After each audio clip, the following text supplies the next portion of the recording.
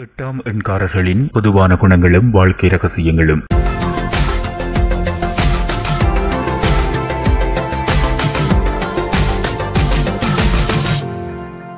இவர்கள் அளவுக்கு மிஞ்சிய மனோசக்திகளும் தெளிந்த அறிவும் மிக கூர்மையான புத்தியும் உடையவர்கள். சதா யோசனையில் ஆழ்ந்திருப்பார்கள். மிக பெரிய பிரச்சனைகளால் மனம் கவரப்படும். மனதில் உற்சாகம் இராது. எப்பொழுதும் எதையோ பறிகொடித்தவர்கள் போலவே காணப்படுவார்கள். சுகங்களையும் மனதார அனுபவிக்க மாட்டார்கள். இந்த ஆதிக்கரில் பெருத்த அயோக்கியர்கள் எப்பொழுதும் சிரித்த வண்ணம் இருப்பதும் உண்டு. சுகங்களை எவ்வளவு அனுபவித்திருந்தாலும் இவர்களுக்கு அவைகளால் திருப்தி உண்டாகாது. இவர்களுக்கு தன்னம்பிக்கை மிக குறைவு. வாழ்க்கையில் வெற்றி ஏற்பட்ட பின்னர் தான் இவர்களுக்கு தைரியம் உண்டாகும் பிறரை எளிதில் நம்ப மாட்டார்கள். பிறருடன் பழகுவதில் மிக யாக்கிரதையாக இருப்பார்கள். மனம் சதா ஏகாந்தத்தையே விரும்பும். பகுத்தறிவு மிகுந்த இவர்கள் எதிலும் நிதானத்தையே கடைபிடிப்பார்கள். பணத்தை செலவழிப்பதில் கஞ்சத்தனம் வெளிப்படும். வாழ்க்கைக்கு பயன்படக்கூடிய எல்லா சாஸ்திரங்களையும் நன்கு ஆராய விரும்புவார்கள். எப்பொழுதும் தன்னை உலகிலேயே ஒரு தனி மனிதராகவே கருதியிருப்பார்கள். இது அவர்களது பேச்சிலும் நடத்தையிலும் நன்கு புலப்படும். இவர்களுக்கு மிகச் சில நண்பர்களே ஆயுட்காலத்தில் ஏற்படுவார்கள்.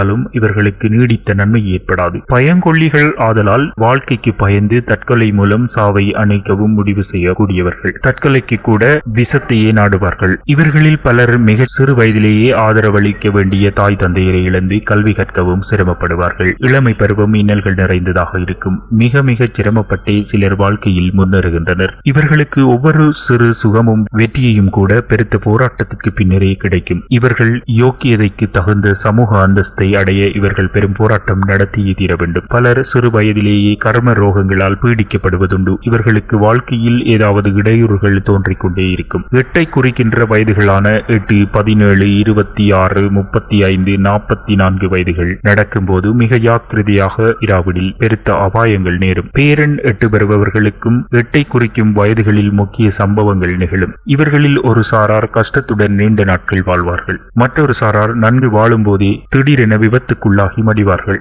தினசரி பத்திரிகைகள் வாசிக்கும் நேயர்கள் மரணம் விழுந்து மாண்டார் இடி விழுந்து இறந்தார் கார் ஏறி காலமானார். தீக்கிரையானார் முதலிய செய்திகள் வரும்போது பெயர் வயது தேதியை கவனித்தால் இவ்வுண்மை புலப்படும் பிறர் புரியும் குற்றத்திற்கு கூட இவர்கள் அடிக்கடி காரணம் கர்த்தாவாக கருதப்படுவதுண்டு. மிக்க நல்லவர்களாகவும் மேன்மையுடையவர்களாகவும் மேதாவிகளாகவும் இருந்தாலும் இவர்களை அருகில் இருப்போர் சரியாக புரிந்து கொள்வதில்லை. இவர்கள் ஒரு நாளும் பிறர் உதவியை எதிர்பார்க்க மாட்டார்கள். சுய முயற்சியால் மேன்மை அடைய வேண்டும் என்பதே இவர்களின் குறிக்கோளாக இருக்கும். இவர்கள் மற்றவர்களை விட பகுத்தறிவு அதிகம் உடையவர்களாக இருப்பதால் இவர்களுக்கு மற்றவர்களுடன் சேர இயலாது. இதனாலேயே இவர்கள் தனி மனிதர்களாக நண்பர்கள் அதிகமின்றி வாழ்கின்றார்கள். ஒன்று நான்கு எட்டு எண்ணில் பிறந்தவர்கள் அருகில் இருந்தால் உடனே இவர்கள் அவர்களை மனமொத்த நண்பர்களாக்கிக் கொள்வார்கள். இந்த ஒன்று நான்கு எட்டு எண்களாலேயே மாத்திரம்தான் இவர்களுக்கு சுகம் உண்டாகும் மற்ற எண்ணில் பிறந்தோர் தொடர்பு பயனற்றதாகிவிடும்.